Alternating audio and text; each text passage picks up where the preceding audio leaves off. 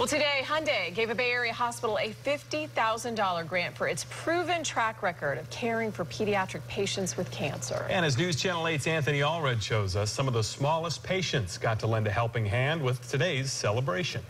I had to fight even if it killed me. I could barely breathe. As a spokesperson in the fight against pediatric cancer, Annalise Matos has a story to tell. I fought the biggest battle with cancer, and that was death. I was slowly dying with water in my lungs for a month and a half, and at this point, dying was so much easier than fighting for my life. But I had to fight even if it killed me. Annalise told her story at St. Joseph's Children's Hospital as part of a ceremony where the hospital accepted $50,000 to help patients like Annalise.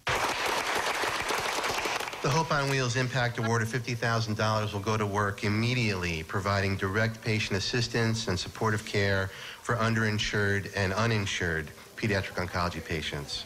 And after the check presentation, the fun part, where the hospital's cancer survivors got their little hands covered in paint and left a lasting impression on this Hyundai Tucson. I look at the car I mentioned earlier, and, it, and it's really cool, uh, but at the same time, it's really sad because all these handprints that are vivid in color represent a child that has cancer. So I'd like to one day have a white, beautiful white Tucson sitting out here with no handprints. That means no child has cancer. But until that day, pediatric patients, just like Annalise Matos, will continue to put on the boxing gloves and put a serious beat down on the disease that has taken so many lives. At one point, I was dying and fighting for my life for a good year, and it was tough and it was hard on me, but I came through it, and now I'm doing everything that I couldn't do before now.